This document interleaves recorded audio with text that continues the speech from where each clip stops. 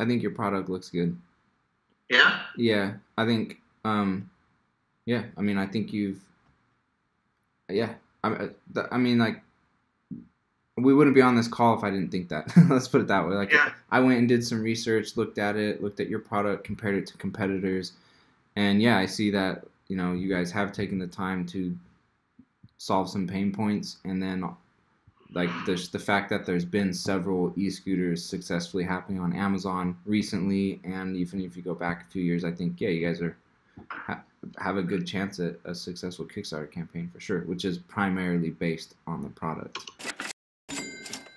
Man, if you're doing a Kickstarter and it's just going to be Europe, I think you're really hindering your Kickstarter success. And I'm not sure. I'm not sure if.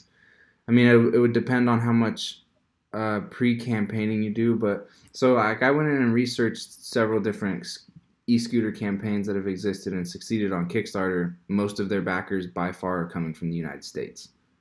Mm. So, and that's that's What's you the can Spanish one? you The- can- What is the name again? The last one I sent you. Is it also? Uh, because there's this one Spanish one. Let me let me just check. Um. So I'll pull up. You can. So by the way, when you are on a Kickstarter campaign, if you click the community tab and scroll down, you can see where most of their backers have come from, and yeah, it's the United States, Oh shit. and then Germany, and then UK. So yeah, man, I I I think if you go just Europe, you're losing.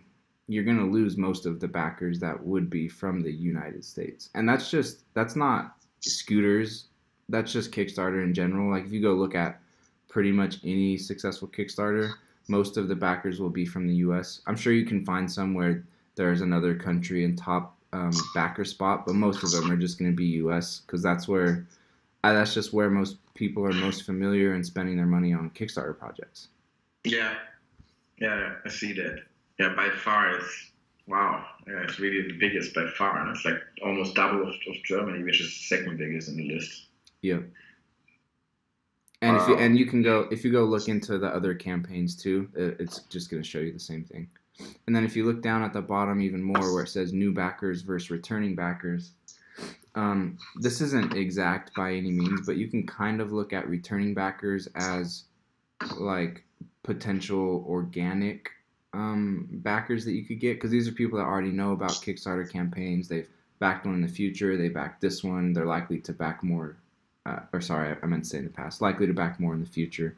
New, Yeah, new backers is is maybe going to be you know, um, you know, The new some- backers is really the, the all the pre-campaigning effort you put in. This is kind of the ratio you mean? Yeah, and there can definitely be, you know, new people browsing that find your product and they end up in this number, but yeah, you can kind of look at it that way. So, um, Okay. and and so when I went and looked through all these campaigns, these e-scooter campaigns, and where the backers are coming from, mostly returning backers, which is a good sign because that means that you at least have a chance of getting some organic success just just because you launched on the platform and the people that are browsing like your product like i think there is a bit of that there which is not always the case for every product on kickstarter um, but then the downside is what i already said is that most of those i think are going to be united states people Yeah. Yeah. sorry Okay. i know that's not what, what, we, what you want to hear but i just think that's no, important exactly. to point I'm out just- I'm just making. Dude, did, did you actually check that? Because that's actually a key point. You know, like how i did how how did do, do they make the do they make the clients pay for the shipping? Yep. So I- I'll that- point I'll point that out. That's a good thing to talk on. Um, people on Kickstarter are very accustomed to having to pay for shipping. So if if like They're if, if- accustomed to, to do have to pay for shipping. yeah yeah well you get, you get to wow. decide if you charge them or not, but they are used to having to pay for shipping. So like if you charge people fifty bucks or sixty bucks or whatever to ship the scooter to the U.S., I'd do that, man. And and I don't think people you know people aren't going to be like wow, you're charging me 60 bucks to import, you know, to bring this into my country, they're not going to look at it like that. You'll have to clarify maybe that, you know, and and it'll I'm sure you'll on the campaign it'll show that you're launching from Europe but Yeah, you'd, you'd want to it's the whole specify that. storyline you want to push. You know, like German quality, German engineering, blah Yeah, blah yeah, blah. yeah, yeah. So it's like it's like those guys, right? It's ca- designed in California, but then we all know where they produce, uh, and it's Sure. also in China. So Sure, it's, yeah. that's the whole the whole yeah storyline. Yeah. Okay. Wow. How long how long do you experience with the campaign run? Uh, so the campaign usually gonna want to run it for like 30 to 45 days, um, and then as far as how long it takes you to actually produce the product and get it to people's doorsteps, that just varies from campaign to campaign. And you know, if if you can save them money by and they only have to wait, you know, if, if you can save them a good chunk of money, or if especially if you can offer them offer the United States the product instead of not just just because just by adding a month and a half of time on the back end that's i think that's totally fine. I don't think you're doing yourself any uh, like disservice. Consider- then as far as what i can see just uh, based off of these previous campaigns i'm not sure you're gonna be able to like succeed organically that way. So you'd want to definitely do some lead gen, build an email list of people just you know in the country that you're going to ship to, and hopefully you can uh, build a big enough audience and get people to convert and have a su- Yes. successful campaign that way. But yeah, that'd definitely be more a game of harnessing that audience beforehand, a, a, a Europe specific audience. Is there a difference between Indiegogo and Kickstarter, or is it pretty much the same? But it's just like Uber and Lyft, and Kickstarter is the kind of bigger Uber one. Yep, that's the that's a good way to put it. It's just uh, okay. it's yeah they're they're pretty similar you can definitely have success on indiegogo i i think kickstarter and most people view kickstarter as the more credible one out of the two so to speak Okay. Okay, very good. Um, then the, the next question, because that also impacts my whole calculation. And it's also totally random, you know. I'm just throwing you really random bits and pieces of information I gathered from all kind of sources. So please feel free to to, to smash everything I tell you. so um, sure so I, I was told that um, ideally to get nice sales and to hook people and to you know like make them understand that it's really a great offer they're up, up for. Um, it's good to, to to to to hit at least let's say 50% of the of the actual sales price, meaning that um, you know if the recommended retail price would be 999 euros or dollars, it doesn't matter yet now for all these examples and costs we're talking about, especially because euro and dollar are very close at the moment. Um, then I, I would need it. I would need to hit at least 499 US uh, Kickstarter offer. Is that something you, you would tend to agree with? Um, and then that is the question number one, and intrinsically linked to that question, question number two, is it is it then also true that this 499 in general on Kickstarter, no matter what the final sales price or retail price is, is super important because as soon as there's a five as a first digit, people will be really reluctant to buy it. And 499 is kind of something you still give to you as a treat, but if it's 599, it's I see already what you're saying. Okay so i think my first response to these couple questions is probably don't it, you don't need to be that specific about like cutting your retail price exactly in half. Um, really you just want to whatever your retail price is going to be give them a good discount because that's just part of the kickstarter environment and platform is like you're giving your money up front for a product that doesn't exist and in return you're getting this new product at a better price than other people are going to have to pay for it once it's on the shelves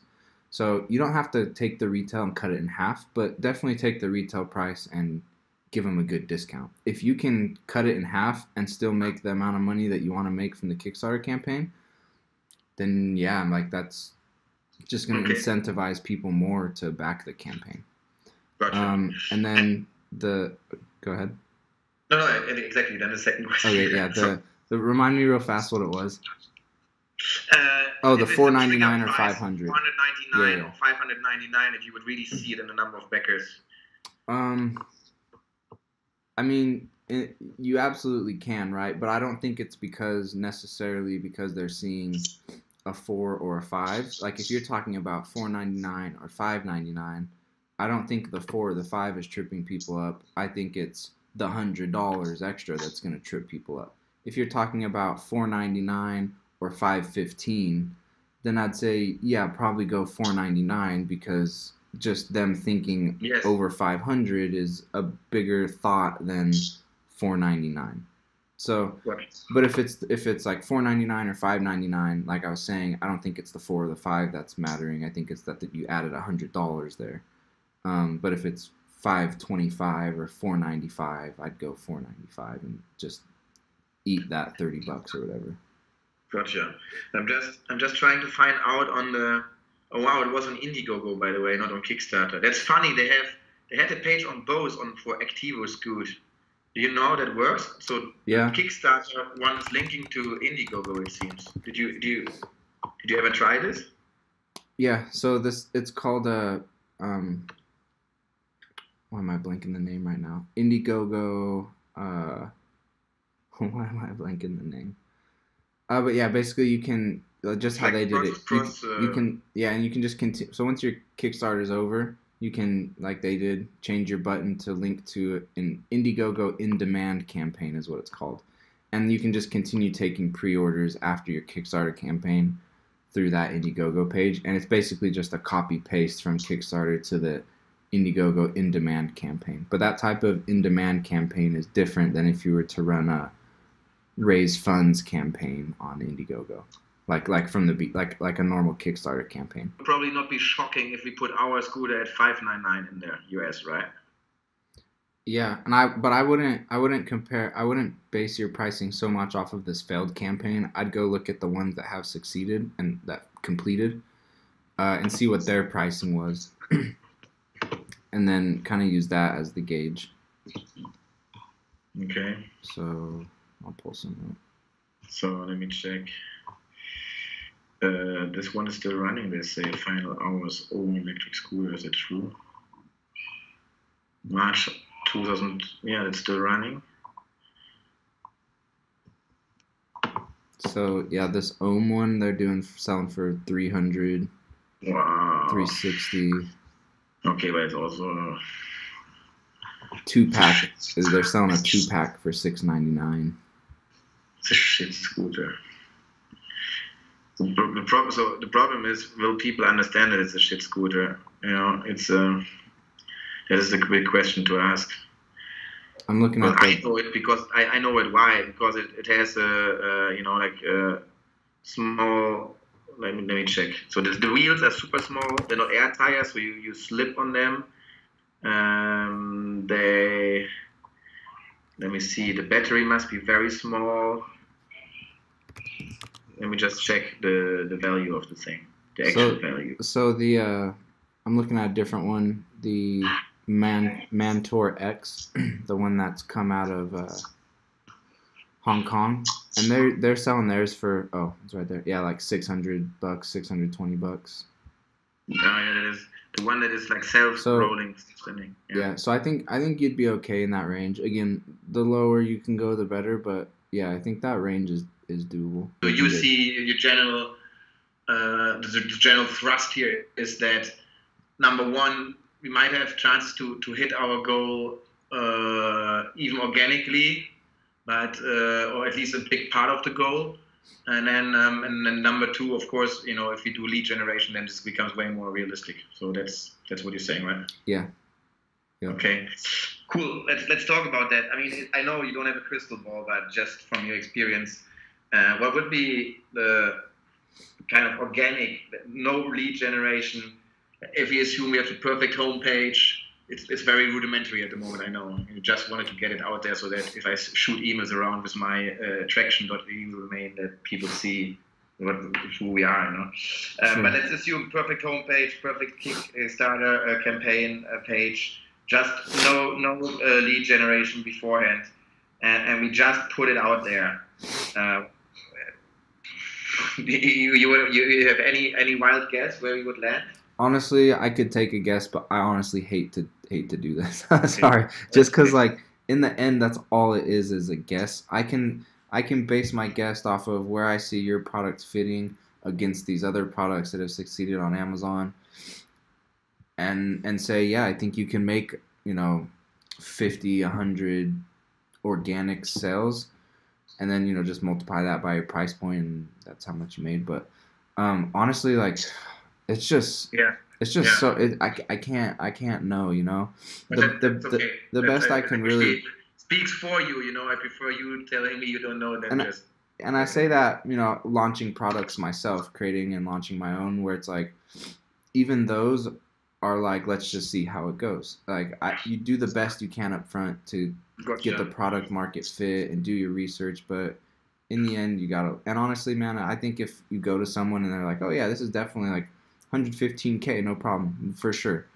I think they're BSing you and not, you know, they're just Yeah. trying to make you Yeah, yeah. feel good to win your business instead of being honest. yeah. And I just rather, I just rather take a more honest approach. But I think uh, based off of the research, you know, these other campaigns are doing anywhere from, like some of the worst ones are doing 50k, and then the better Yeah. ones are, you know, into hundreds of thousands. So I, I think you guys can fit in that range for sure. And then if your product really is as is uh, as better as you say it is in people's eyes, and especially if you put some ad spend behind it, then I don't see why you couldn't just keep growing it. Like I said, I have I have some experience with e-scooters. I've even owned my own, but I wouldn't say I'm like the the person that's all about it. But when I went and watched your video and hearing you talk about disc brakes, it's clicking for me, man. Like I'm going, yeah. I, like if if it's true that these other scooters don't have real disc brakes and yours does, that is a big difference to me. Like I I would rather have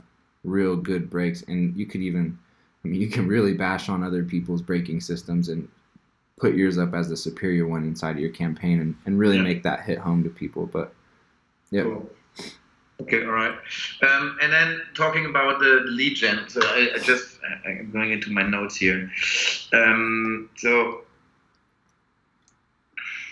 you gave a very broad range thinking about lead gen, and I, I, totally get you. You know, so when we talk about lead, just to, to, to summarize, the idea is that we do authentic lead generation really organically, meaning that we invest into a marketing budget that leads people, let's say, uh, to our homepage, and then there's a call for action like subscribe to our newsletter.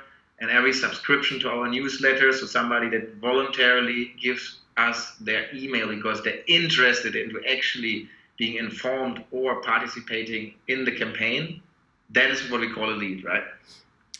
yeah, yep. Okay. Yeah, that is. I would say though, um, just to, and maybe you don't, but this might be a little too much info at this point, but you can do the website where you have the landing page and collect their email there, but you can also collect their email just inside of the Facebook ad itself.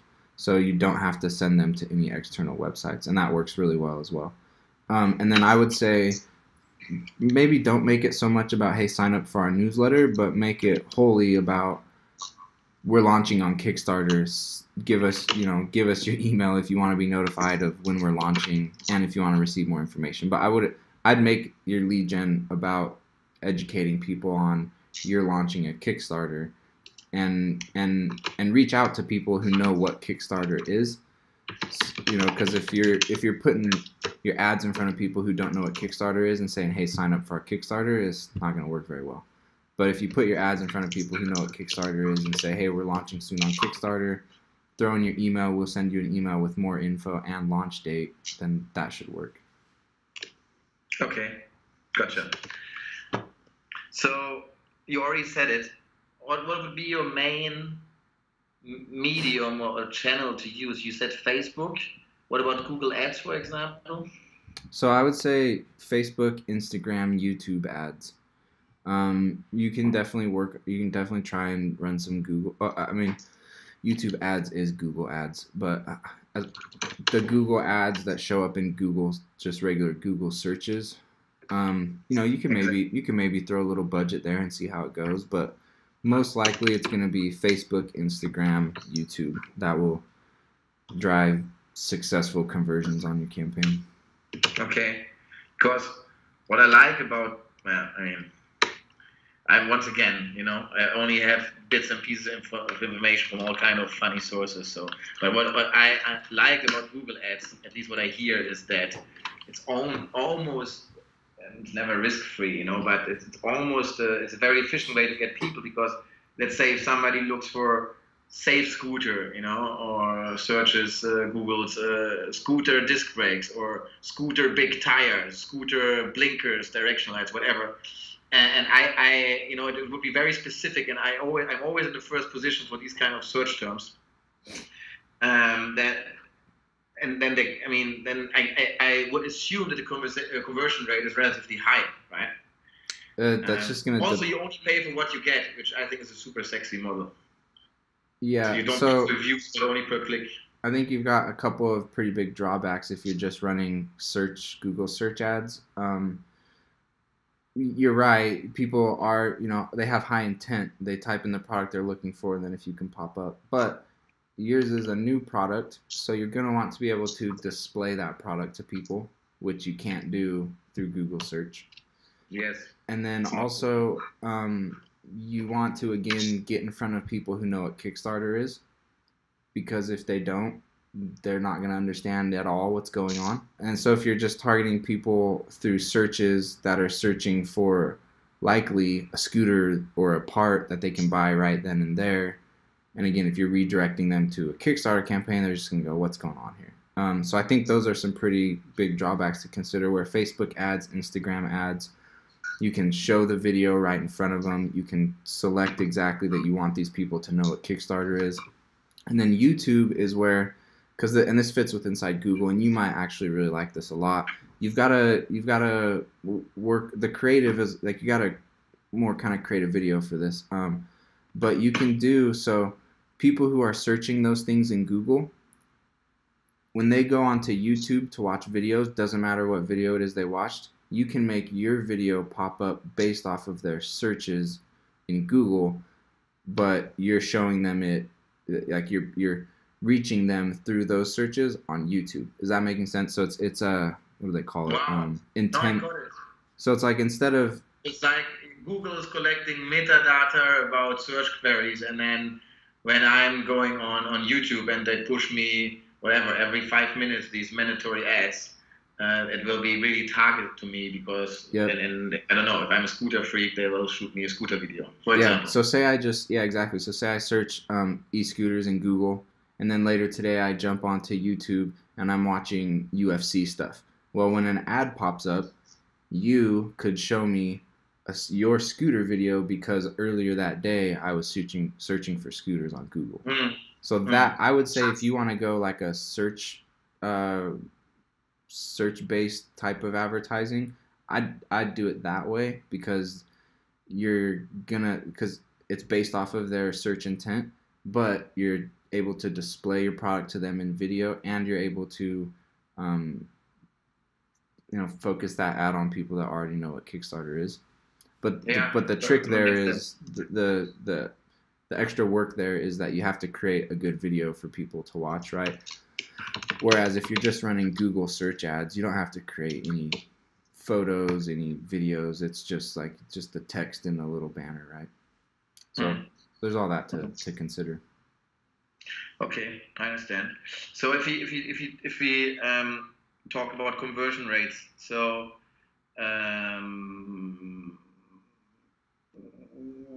so so let, us let's put it this way: if we get and that, these are like probably common numbers, you know. But if if you look at say I don't know. Uh, 1 million page impressions and that resulted into 3 to 6,000 email signups. Uh, out of these 3 to 6,000 email signups, would it possible to convert people into like into sales, hard sales, when the Kickstarter campaign is starting in the first 48 hours? so let's say aiming at I don't know 100 or 200 sales to, to, to be boosted as you explained you know in, in this like uh, top category of Kickstarter projects. Is that something that is uh, that, that is are these numbers right or is, for this kind of expensive products they're wrong or is it is it maybe aiming too high? What, what is your feeling about that? Uh, which numbers exactly so you know, like for example, um, the guy you were talking to in your other video, he was aiming at 1 million page impressions, uh, resulting in somewhere between three and 6,000 oh, email signups. So and I would, then result in 100 or 200 sales. Yeah, so 48 I, hours to campaign. these are all just estimates, but um, basically, I don't think I don't think page impressions matters. So I would just focus on your leads and then how many of those leads are going to convert. So however many emails you think you need to collect 1,000, 2,000, 10,000, whatever it is, and then basically somewhere from 5 to 30% hopefully is going to convert out of your email list. So if you want 200 so if you want if 200 backers is your goal, then just work backwards and say, you know, how many emails do I need at a 10% conversion rate to get 200 backers? And then you can. Remember making esti- notes yeah. Sure. And then you can estimate your cost per lead, which is going to be probably, I don't know, like three to eight bucks, probably something like that. Um, so then you just multiply that by however many emails you think you need, which take your 10% conversion rate, and that should give you your. But again, that's all. I mean, you can't know for sure what your conversion rate's going to be, and that's really what it's all going to hinge on is if those people actually convert. And honestly, man, I did. Um, so it can definitely work, but I'm going to give you a story of when this didn't work. Is because like the lead gen went great, the ads were good, got signups for like two to three dollar cost per lead, somewhere like up in the five dollar range. But I'm just people were commenting and sharing the post a lot. Everything looked amazing, but then when we launched, and I, I told this to them beforehand, I was like, I'm pretty sure this price point's just way too high. I'm pretty sure this price point's way too high, and they just kept saying we can't. It costs X from China, and we, it's it's what we have to work with. I was like, all right, well, yeah. no one converted. I, I think we got one conversion from our um, lead gen, and so but but but that makes sense though, right? Because if the you can do all the work of getting the lead and sending them to the campaign, but if something's wrong on the campaign, they're not converting. And in that case, it looked like it was. It, I mean, we were a couple hundred dollars over what was the next, um, like the next competitor's price, and it, ours, in percept, like in people's perception, it, it wasn't like a two hundred dollar step up or anything like that. So it was just like, and the com and the comments came in like maybe for three hundred, but not for six hundred type of stuff. And so, wow, um, okay. You, so you never really know how it's exactly going to convert. But you know, if your product is good, if you found the right price point, and you are telling the story well, they should convert. Gotcha. So there's two very big question marks here. Question mark number one is so that's kind of the first step. What is the cost per lead, right? So which is somewhere between. Well, I know you know it's. I won't. I won't pin you down on that, but it, it's somewhere between three and eight US, yeah. according to your experience. Um, and, and once again, I, I, won't pin you down on that because I know you, you, you only know when, when you know. and then and then there's the conversion conversion rate uh, so meaning how many leads do actually convert then into sales, hard sales, which is once again somewhere between five and thirty percent. So you never. Sure. Yeah. I mean, maybe it could be more, but yeah. The truth is, if you're gonna do lead gen, and and you and especially if you're if you're doing it to really like get some real numbers to boost your campaign, you're spending thousands for sure. Um, unless somehow you get really really cheap cost per leads but yeah, I don't. I mean, even at the cheapest, I don't. I mean, I don't think you're going to be getting 80 cent cost per leads. You know, so. Um, but then that's also why I wanted to mention. I think your project has some legs for that organic success without, you know. So I, I think there's there's that. Uh, and th- again, I'm this is all talking if you're selling to the U.S. If this is just just Europe, then that's a no, no, no. Like this. Have you have you ever seen a campaign that dropped in price while being like on the run during its running time. Yeah. So I think one one strategy that would work well is have a super early bird at maybe your 4.99, but with limited spots. So maybe only open yeah. that up for like 15, 20 people, and then mm-hmm. have the higher one at 5.99, and then mm-hmm. you'll be able to pretty clearly see if people backed the 4.99, filled that up, but then no one's backing the 5.99 then maybe what you want to do is go, okay, we're gonna close the 5.99, open up the 4.99, and let people back at that level. So you, you could you could do that. um, a, as a way of dropping the price inside of the campaign. You can always open re- new reward levels as the campaign's live. So yeah, you can, you can you can definitely change. You can't go like if you have a reward level that's already sitting there, you can't go in and edit that one once it's once your campaign's live.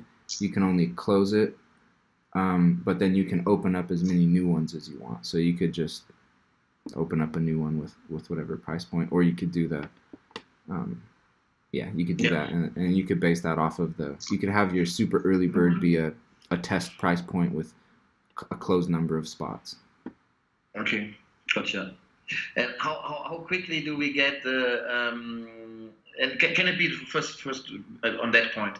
Can it be actually um, uh, an, can it have a negative impact on buying behavior of future backers if they see oh shit I missed the super early bird offer and now I jump from 499 to 599 and they're like nah I w- I won't spend a hundred bucks more just because I'm late instead of if we had just put it at 599 do you I mean do you know Uh, that or I mean, I'm, my guess is yes. There's going to be some people that do that, but um, for the most part, people know that uh, like there's you, there's limited spots in the super early bird, and if you don't make it into those, then you've got to pledge at the other ones. And if they want the product, they'll pledge at the other ones, unless you really did cross that barrier of I can afford it now, I can't type of a thing. Mm. But Mm. Mm. as long as as long as that's not what's happening, then it doesn't matter if they miss the super early bird, they'll back at the next level. we lost a lot of money with that coronavirus shit. So we really have a tight budget now. I don't know how, how much we would have, but maybe like just for the marketing, I don't know, two or three K maybe. So we won't get very far with it. If you know, if, if one thousand leads is already potentially five K, that's that sucks. so uh, Yeah, that's uh I hear you. That's yeah, no that's the game though. Um Mm. yeah, I, mean, I- I get you. I I mean, it's not in your hands entirely. I know. You. and and as far as uh, you know, I'll throw this out there as far as my compensation goes. I'm not committing one way or the other here, but I will say that I am not on all projects, but on yours I would be interested in having a discussion of you don't pay me anything up front, but I take a percentage of whatever's raised off the back end. Um, and the reason that I would be open to having that conversation with you is just because I think there's, I think your product has legs for success. Whereas if I kind of don't feel that way, like I'm definitely still willing to help people do lead gen and build the campaign and stuff. But then I kind of try and transfer that to more, okay, pay me up front because I just can't be Yeah, as confident Yeah. as on the back end, you know. But in this case, I'd be willing to have that conversation about how uh, back end compensation might be better for you or not.